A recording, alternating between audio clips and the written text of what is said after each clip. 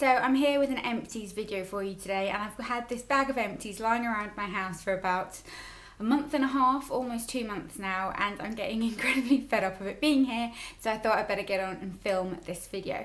So I've got the bag right here, it's in a Topman bag, um, and I'm gonna just rummage through and tell you what I've used up. So the first thing is a shower gel and this is the Tesco Wake Up Shower Cream Exotic Coconut and Mango. This is really nice, it smells really kind of tropical and like sunscreen and I'm not massively fussed about shower gels. I will admit that Soap and Glory are my favourite shower gels but this was nice. I would probably buy it again when I was doing my food shop. Then I've got, um, I'm going to do this in a kind of random order.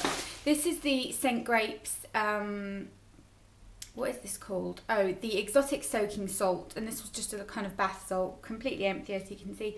This was really nice. It kind of didn't have that traditional lavender smell, which I do really like, but I also find that um, sometimes it's nice to have something a little bit more invigorating, and this kind of was very menthol, which was really nice. So I would repurchase this um, if I was on the market for another bath salt, but to be fair, I do prefer bath oils.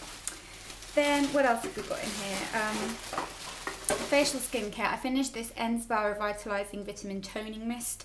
I love this in the morning, in the winter. I've already repurchased this and I've got my new one on the go at the moment. You can purchase these in Asda and I really like it. It's just really great and really helps my skin kind of look juicy and plump when it's a little bit dull outside. I should have really gotten these out of the bag before I was showing you, shouldn't I? then I've got the Aromatherapy Associates Polishing Natural Exfoliating Scrub, which looks like this. I have completely finished this. Um, I'll show you. It's kind of a very grainy, sandy scrub. It's got a very unusual scent. It's a very unusual product actually, and it's very expensive, but it is a lovely kind of luxury item, and I really like the packaging of it, so really do like that. Then what else have we got in here? Um, a hair product I used up. Actually, I've got a couple of hair products in here. The first one I used up is the VO5 Give Me Texture Tussle Style Spray. I have already repurchased this because I really like it. I only wear it um, when I'm wearing my hair curly and it really does help to kind of add a little bit of hold and give that rough texture. The only thing I dislike about these types of products is for some reason the um, kind of nozzle bit always gets clogged up. Same goes for the TG salt spray. I love that, but it's just impossible to use because after a while it gets clogged and there's nothing you can do about it and it's really irritating. So I wonder with this if maybe I just had a dud um, and the new one will be okay, but I do like this and I have actually bought the Tussled style kind of dry texturizing spray as well. I've got that in my hair today. Don't know how well it's showing up, um, but I do really like the range of products from the Tussled Style um, section anyway. And then another one is this little mini John Frieda Luxurious Volume Blow Dry Lotion. I've gone through loads of these. If I um, dry my hair and then straighten it, I like to just put a little bit of this in the roots and it does add a little bit of body.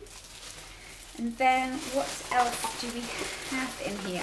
Another shower gel. This is quite a luxurious shower gel. This is was the Liz Earle um, Orange Flower Botanical Body Wash.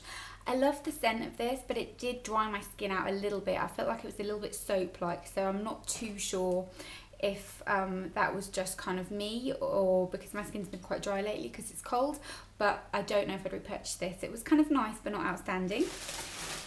And then I've got a fragrance kind of mist here. Now, I don't wear this as a fragrance. It's the French Connection Polished Body Spray.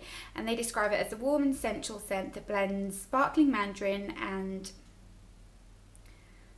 I don't know what the hell that says. Osmad, I don't know what that means. Some flower anyway, with creamy vanilla notes. And it is very vanilla and it's a very warm scent.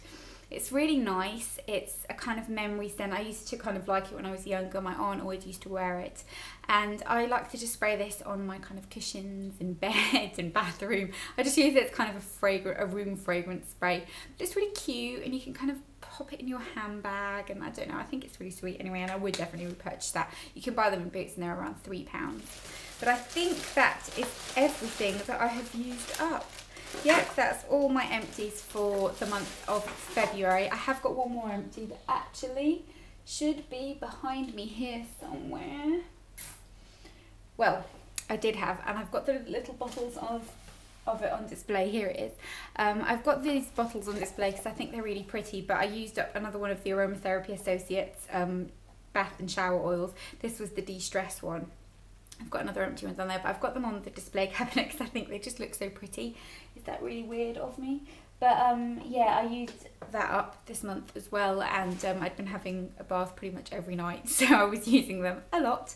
But I hope you enjoyed this video, quick and easy video, um, because I've got people coming around in about an hour, and my house looks like a bomb has gone off in it, so I've got to do the kind of manic pre pre-guests coming over tidy up. So wish me luck while I'm doing that. And I will be back with a couple more interesting videos for you um, later on in the week. I've got a haul coming up. I've got um, a video on how I keep my teeth white um, skincare video. I've got a bunch of kind of interesting videos coming up. So keep your eyes peeled for those. And I will see you in my next video. Bye